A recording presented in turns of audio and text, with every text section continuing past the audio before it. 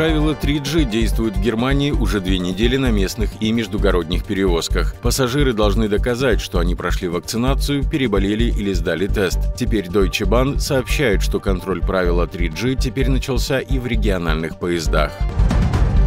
Центр вакцинации от ковид открылся в Ганноверском зоопарке. Рядом с панорамой тропического леса расположились 10 кабинок для прививок. Сделано это прежде всего для привлечения к вакцинации детей. Первые четыре недели работы центра после прививки детям будут выдавать бесплатные билеты на посещение зоопарка. С 1 января 2022 года жители Германии начнут получать рецепты от врача в цифровом виде. Обязательство пока не распространяется на лиц, застрахованных в частном порядке. Частные страховые компании могут добровольно принять решение о подготовке своих клиентов к использованию электронного рецепта.